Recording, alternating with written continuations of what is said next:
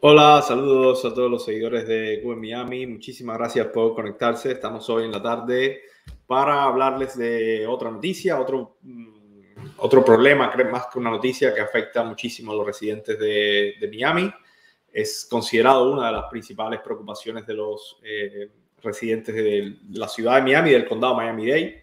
La renta creo que ocupa el primer lugar y el tráfico también es uno de, eh, de los problemas que, que, preocupa, sobre todo en los últimos, siempre ha sido grave el tráfico en Miami, pero en los últimos, en los últimos meses, yo diría dos años, hemos visto un incremento del, del tráfico. La hora pico, por ejemplo, que antes empezaba a cuatro y media, cinco de la tarde, ya ahora desde las dos y media se empieza, se empieza a ver una, un aumento en, el, en la congestión, en el tráfico lo que obviamente preocupa muchísimo a los residentes del, del condado Miami-Dade y de Miami. Pues vamos a comentarles un poquito lo, lo, que ha sucedido, que es que un reciente informe de, de, la página INRIX, que hace como un score cada año, una, una especie de ranking cada año de los, de del tráfico a nivel mundial y en especial la congestión que se crea en el tráfico, determinó que Miami, la ciudad de Miami, se encuentra entre las peores del mundo algo que nos sorprende, pero considerarlo entre las, peores del mundo, pues eh, a mí por lo menos me, me impresionó un poco, yo pensaba que era malo, pero no tan malo. Pues en Miami se ocupa la octava posición según este informe, eh, superada por Londres, Chicago, París, Boston, New York, Bogotá y Toronto. Después se ocupa Miami, la octava posición, y le siguen Palermo y Monterrey en México. Así que mmm, ahí pueden ver, eh, eso es eh, lo que usted está experimentando cada día en el tráfico, pues eh, es, es, real y las estadísticas lo respaldan. Según el informe, eh, los residentes de Miami o los que transitan por las calles de Miami pierden 105 horas al año. Esto es un informe basado en los datos del 2022 Dice eh, 105 horas se pierde en el, en el tráfico. Eh, representa un incremento del... Pasó de la posición número 32 en el 2021 a la número 8, lo cual es un incremento considerable. En, en el último año, eh, un, un, cambio del 59% a, desde 2021 Así que eh, 51% es muchísimo según, según estas cifras. Mm, después vamos a contestar, aquí nos dice Lili que la peor es California. Según este informe de INRIX, que recoge datos de todas las ciudades, de, las ciudades del mundo, no, California no aparece ni siquiera entre, no aparece entre las 10. Eh, según este informe, las 10 son Londres, Chicago, París, Boston, New York, Bogotá, Toronto, Miami, Palermo y Monterrey según este informe. Eh, después está, eso es lo que quería también preguntarles después en los comentarios, la percepción de cada cual, ¿no? Usted si vive a lo mejor en, alguna ciudad de California, en San Francisco, Los Ángeles, a lo mejor puede sentir que ahí la, es, peor el, el, tráfico. Pues si así es, pues déjenlo en los comentarios por qué dice esto, cuánto, cuánto, cuánto demora usted en el tráfico, cuánto pierde de tiempo en el tráfico. El, el, el informe este pone a Miami como que se pierden 105 horas en el tráfico a causa de la congestión, sobre todo en las horas picos. Y eso representa, eh, que no lo dice el informe, pero más o menos el salario medio en Miami viene siendo de unos 25 dólares la hora. Por lo tanto, usted pierde casi un poco más de 2.500 dólares al año eh, a, causa del, a causa del tráfico, por las demoras que usted pasa, ¿no? El tiempo que pasa manejando. Déjenos saber en los comentarios que, que, creen, si es, si es cierto. Yo, en mi experiencia, yo sí he visto que desde, desde 2020 hacia acá, 2021, 2020 no, porque 2020 eh, fue un año extraño, pero 2021 hacia acá, eh, el tráfico, la hora pico del tráfico comenzaba, comienza, comienza mucho más temprano. Si antes era a 3 y media, 4, ahora lo ves a las 2, 2 y media, ya empiezas a ver en la I-95 Norte, empiezas a ver eh, mucho, mucho tranque en la, en la congestión, sobre todo cuando en, este, en ese tramo del, del, downtown, en la I-95, ya se empieza a ver. Y si vas por las calles de adentro, la calle 8, la Coral Way, también se empieza a ver eh, el Palmetto, por ejemplo, se empieza a ver mucho más temprano. Déjenos saber los que son de Miami, qué creen, cómo, cómo están viendo ustedes este, este incremento en el, en el tráfico. Hay muchas más personas viviendo en Miami ahora, hay más personas mudándose. Eh, no, solo, no solo de Cuba, que la gente de Cuba ni siquiera creo que sea un factor acá, porque muchos de los que llegan de Cuba no tienen auto eh, o, todavía, o todavía no es masivo la cantidad de autos que tienen. Eh, muchos están todavía haciendo los trámites de licencia, muchos están haciendo eh, o, se compran motorinas porque los precios de los autos ahora están muy caros y entonces eh, no creo que los cubanos sean un factor, yo creo que son un factor la cantidad de personas que están viniendo del norte de los Estados Unidos, que ha incrementado muchísimo en, en Miami y eso, eh, Miami en todo el sur de la Florida. Pero bueno, en este caso estamos hablando de Miami porque es el reporte la ciudad que incluye. Eh, por ejemplo, en Londres se pierden 156 horas en el tráfico. En, Chicago se pierden 155, eh, bastante pegada a Chicago y Londres. Eh, París 138, Boston 134, en Nueva York 117 horas. Esto, esto al año, obviamente.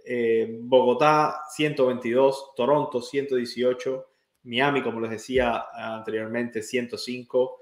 Palermo 121 y Monterrey 106.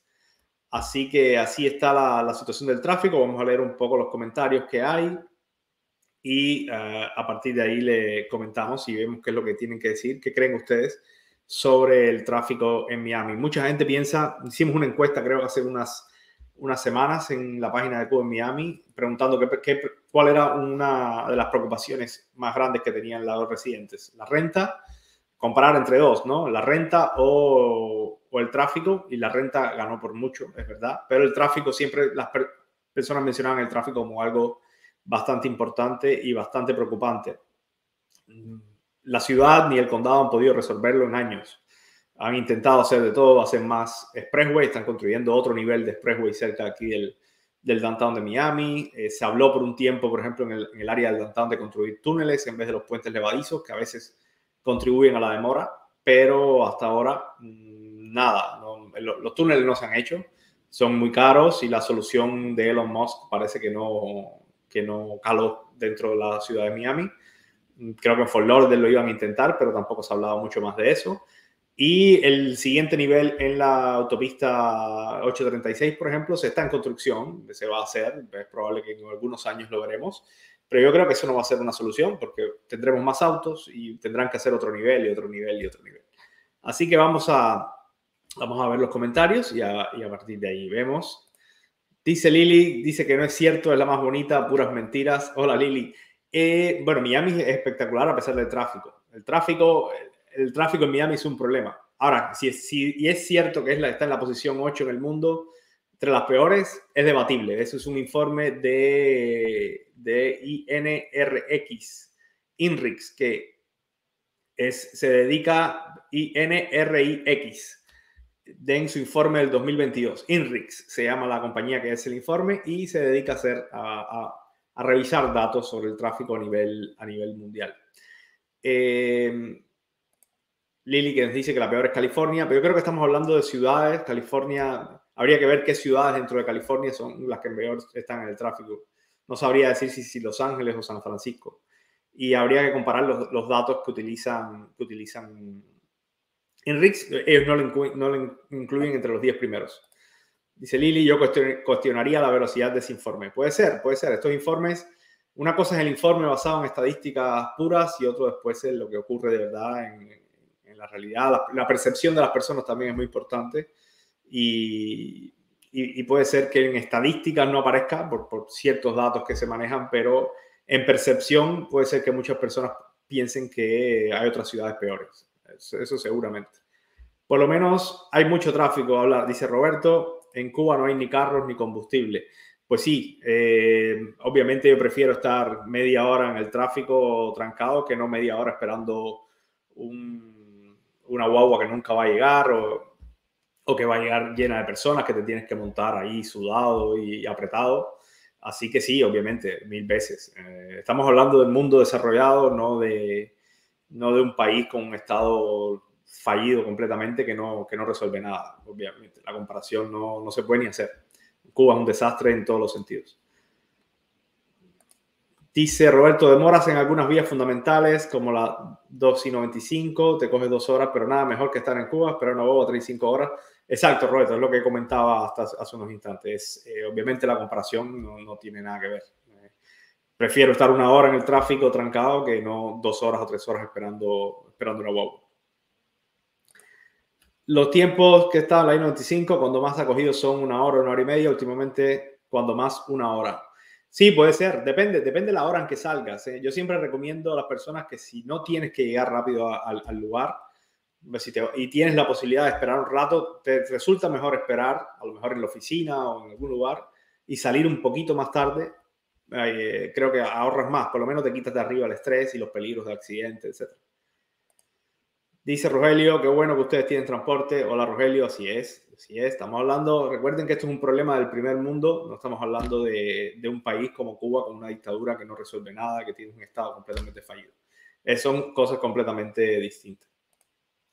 Aquí transporte hay de sobra, pero son, eh, por eso son las congestiones. Sí, yo creo que en, Miami se unen dos factores. En Miami es que hay las personas compran muchos autos, es, eh, en un hogar hay dos, tres autos, normal, usted se compra la cantidad de autos que usted quiera, nadie le va a decir eh, que no.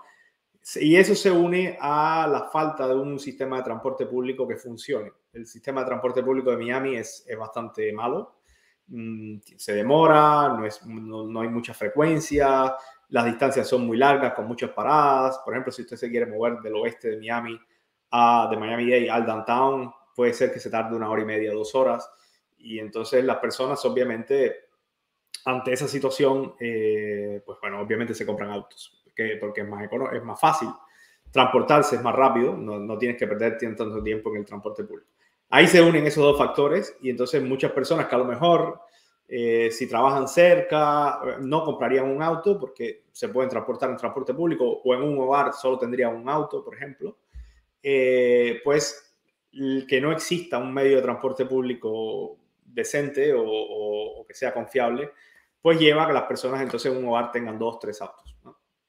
Así que eso, es un factor también, en, el, también y es un factor a, la congestión. Cuando tú tienes eh, por cada hogar dos, tres autos en, la calle, pues eh, las calles obviamente se, congestionan más. Pero es, eh, es, es, así, Miami siempre ha sido así. Yo creo que en los últimos años se ha, se ha vuelto un poquito peor pero eso viene con la cantidad de personas que se están mudando a, la ciudad. Y yo creo que las soluciones que están dando en la ciudad no son las mejores. Eh, agregar pisos a la autopista no creo que va a solucionar el problema. Lo aliviará por, uno, por un tiempo, pero después se necesitará eh, otro piso más. Porque mientras las personas necesiten tener autos o comprar muchos autos, pues nada, eh, tendremos más, tendremos congestión. Habrá que vivir con, con eso. Muchísimas gracias a todos, gracias por conectarse, gracias por seguirnos, gracias por compartir el video, compártanlo, así le llega a más personas y aquí nos conectamos más tarde o mañana con más, con más noticias. Saludos.